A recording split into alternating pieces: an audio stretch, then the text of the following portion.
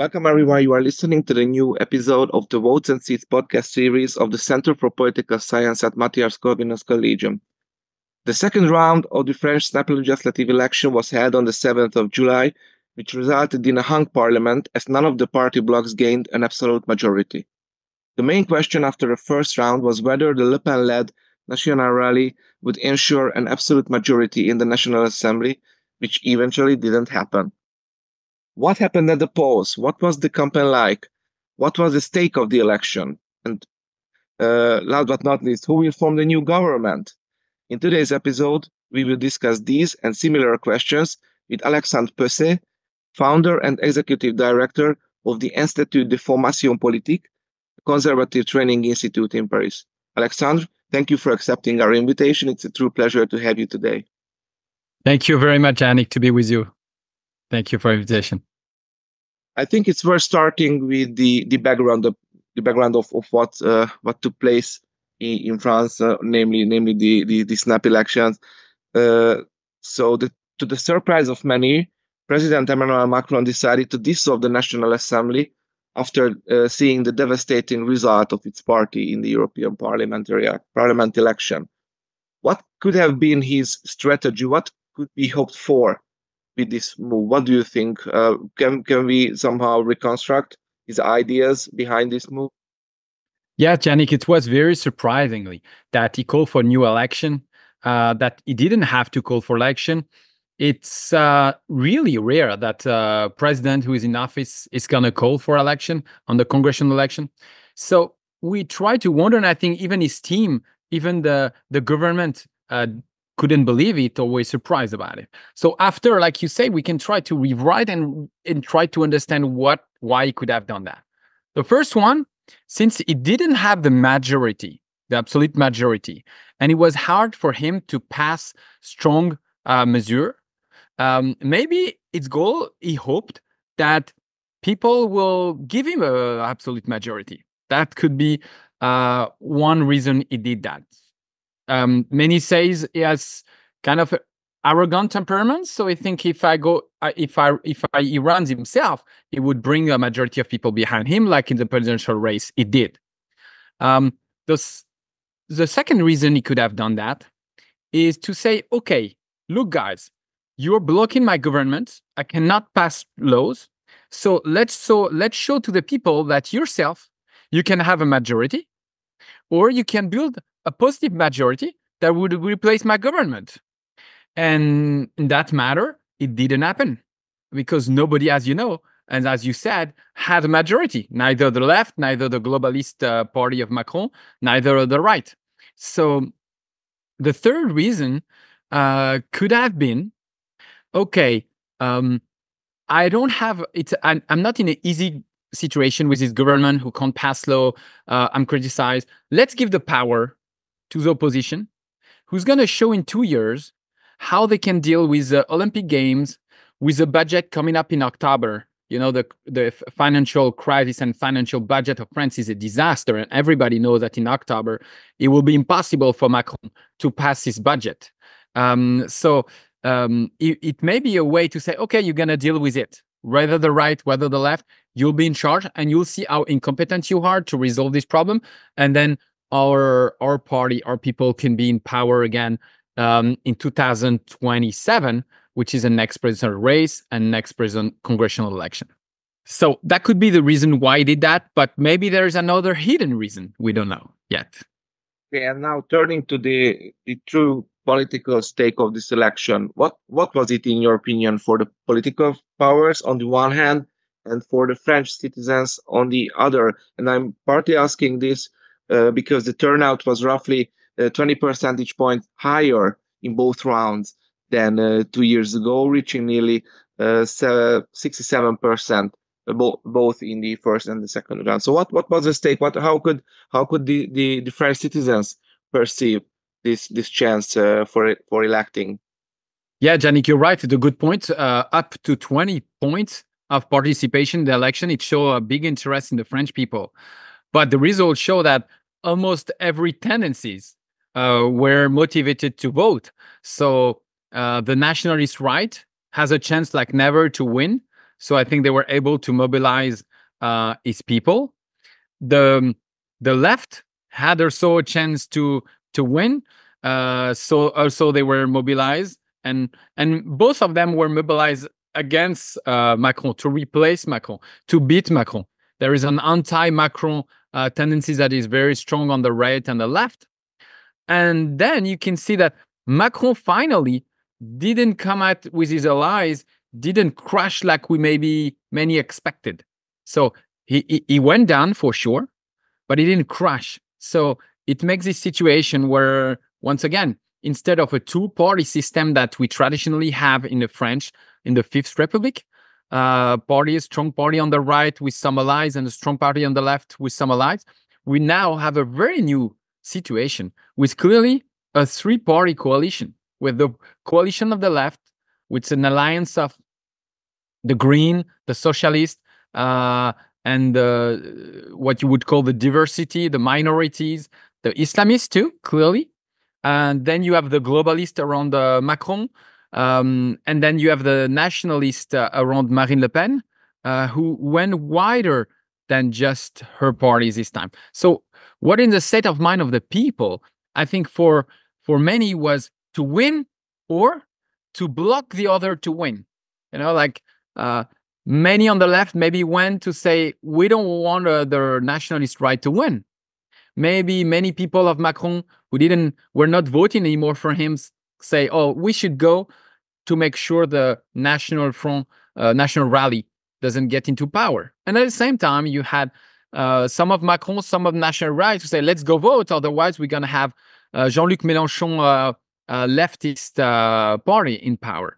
So I think it was like a a, a, a battle of who's gonna be first and third. Second, I would say the uh, many topics uh, mobilize mobilize the, the, people. Maybe recent topics, and maybe we'll talk about it uh, later on. Yeah. exactly, not that later because now I would I would say say or, or discuss the, uh, the the campaign campaign topics, the campaign dynamics. So so those who follow the French domestic politics in recent years would definitely name the economic situation, in particular inflation, unemployment, uh, public security, or maybe public insecurity, or or immigration as the key uh, campaign uh, topics. Would they be right if if they name these?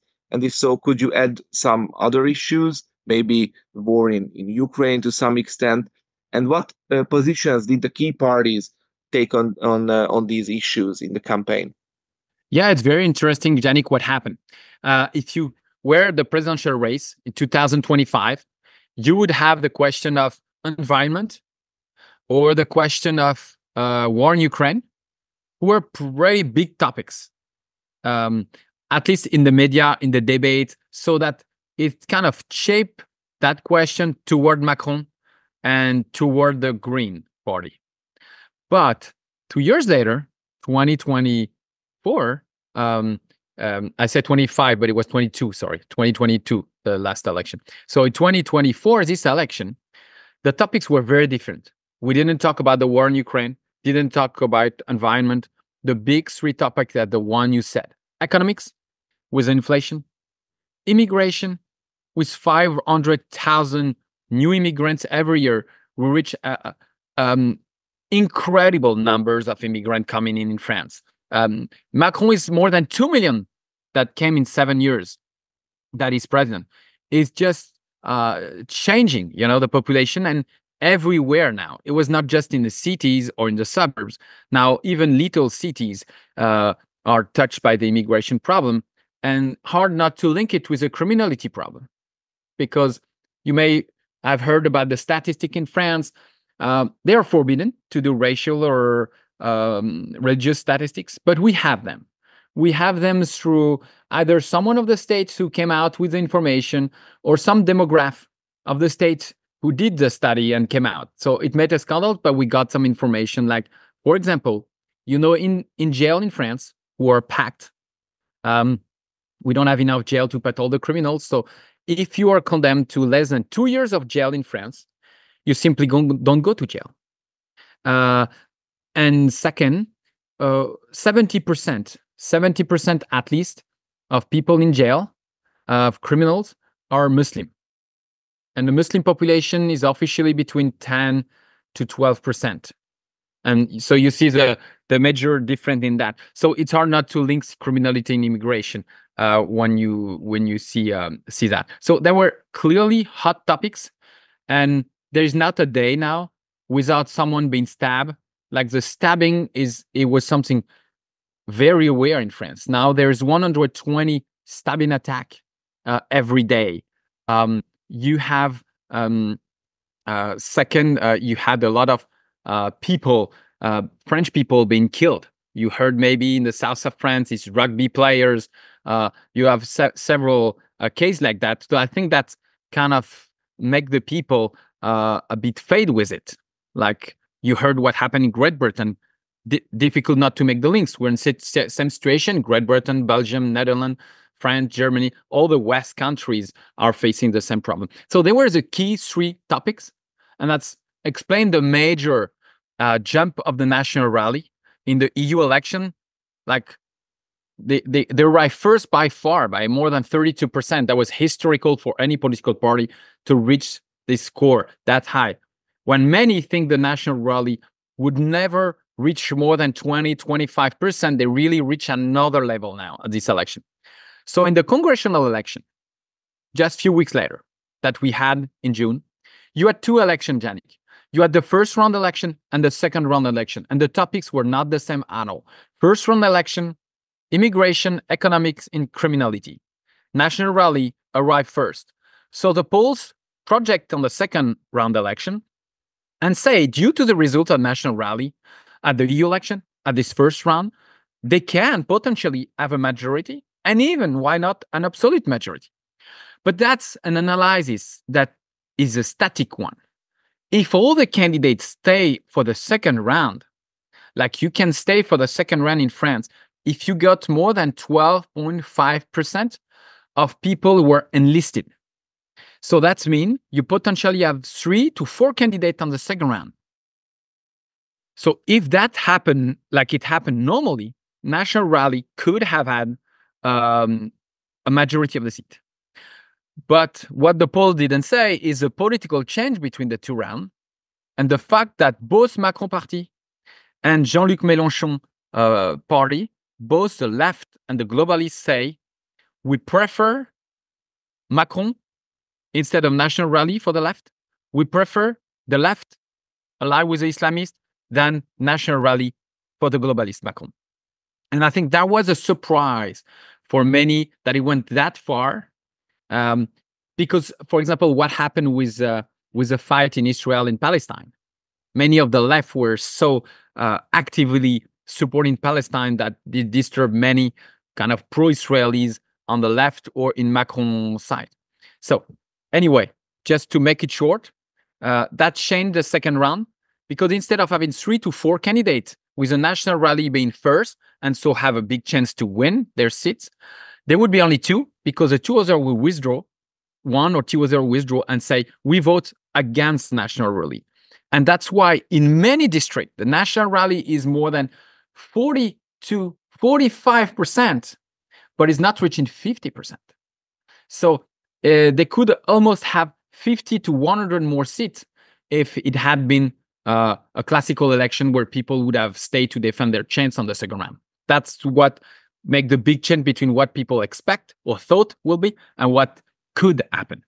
So you, so you argue that uh, this uh, this difference between the first and the second rounds uh, largely stems from the special char- characteristic of the the major- majority electoral system in in, in France. Uh, and can we, if if we if we uh, think about it a little bit more, can we call this this uh, coordinated action between center and left uh, uh, against or vis-a-vis the the the national rally kind of cordon sanitaire or at least a legislative election version of the classical uh, cordon cordon sanitaire uh, against Le Pen's party. So is this is this the the correct uh, kind of a correct interpretation of what happened?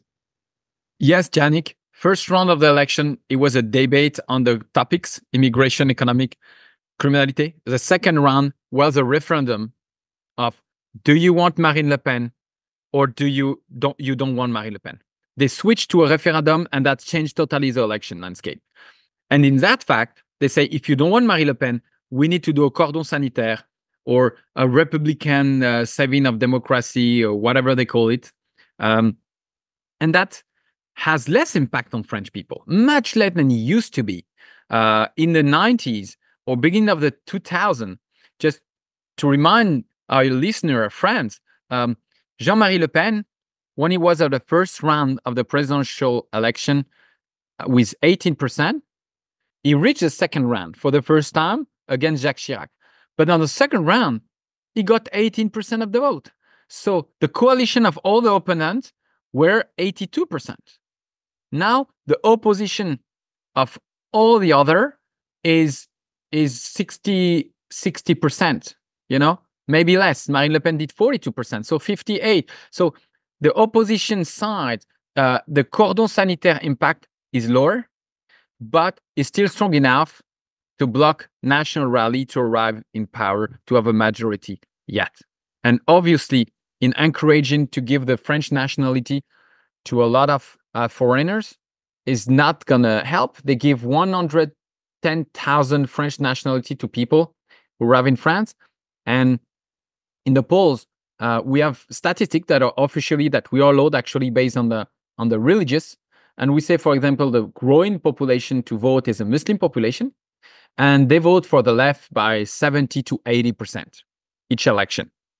So um, it's interesting to see that even these people who are said to be conservative against gay marriage, for traditional marriage, for traditional value, at the end of the day, they're going to choose to vote for a party who is for gay marriage, transsexual, um, social things that are totally opposed uh, socially. Uh, it's very interesting coalition, very surprising one where feminists, green, Islamists are, uh, are are sticking together, and you see a lot of people of the left um, who are switching. The historical party, the Socialist Party, is a very secular, like even anti-religion party.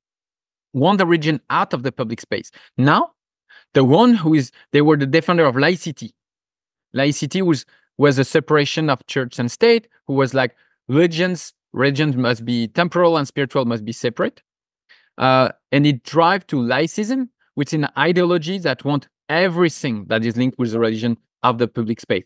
They are the one who would say you shouldn't even say merry christmas because it's still offensive offending uh, to christian. So the same people, like Jean-Luc Mélenchon was one of the key guys in this laicist movement, is now the defender with his friends of the Muslims asking for specific rights, specific laws, specific celebration for implemented religious principle of the of the Quran into uh, everyday life, into our public sphere, sphere, like having halal food in school for kids, having veil for anybody to go in a public square, schools or university. Um, that's very interesting what's uh, happening and how some flip flop in their topics. Uh, one last question specifically about the, the election result. If you had to name the winner, winners, loser, or losers of this election, who would who would you name? And of course, I'm uh, particularly interested in uh, Mélenchon's party, uh, Macron's uh, Renaissance uh, party, and uh, of course Le Pen's national rally. Mm. I, I, would say that the the three coalition won and the three coalition lost. The three coalition won in the sense that they did better than they could expect to do one or two years ago. Uh, the left was was very divided, and they were able to ally in this anti-national rally position. They were uh, allowed to ally really different tendencies tendencies were very opposed. Um, and they did a pretty good score. They don't have the majority, but they did a big a good score. Macron, uh, same is really going down and down and down, and he pretty save uh, the the essential. Their people are still have a lot of congressman seat and could potentially have the government if they take some of the left, some of the right with them. They could he could have a, a, a slightly majority one. Uh, difficult to hold for a long time, but he could have a majority Um, and I think that's what he's working on during this summer. That's why in August we still don't have a government because they see he's he say it's because of Olympic Games. No, he's trying to get alliance. And on the third part, the national rally, uh, he's losing the sense that he doesn't have the majority, but is very winning in the sense of if you see the results he had. Don't forget, before 2022, they had seven or nine seats. In 2022, all the polls said he would have 20 to 30 seats. They got 89 seats. That was already a big surprise. European election, they were told to get maybe the same number of seats. No, 25%. They got 32%. Congressional election, they were said say maybe they maintain or no, they, they went from 89 to 140 seats. And more, more important, part of the Republican Party, who had in their genetic code since 86 in Jacques Chirac forbid any people of the Republican Party to ally with the National Rally. Many of them now are ready and allied with National Rally. That was a historical move that the president of the Republican called Eric Ciotti did. And I think that's going to affect the landscape, the political landscape in France a lot. Because the, the Republican Party now, that may be the only one who also win and lose in the sense of they win, they maintain few congressmen, but they lose also in the sense that they have never been in a catch 22 like like before. It's the hardest catch 22 for them. Will they join Macron? Will they join National Rally? Or will they stay and slowly die? They're really in a difficult position. So that's why uh, they once again it's it's whole are a good a good chance for the next election to win uh, and the next election will be either June 2025, uh, when Macron can call for a new election. He has to wait a year. He did election June 24, so he has to wait June 25. Uh, or to win the presidential race in 2027. Mélenchon, Marine Le Pen, or someone from Macron, like Gabriel Attal, has a, still a chance to win. Very interesting what's happening in France, and thank you uh, for having a look and give me the chance to give you uh, some answer to your question, Danny.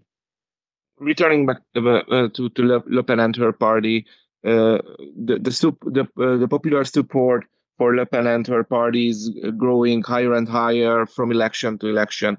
Do you still see any room for further expansion for Le Pen and her party, or or is there still a kind of a glass ceiling above Le Pen's uh, head?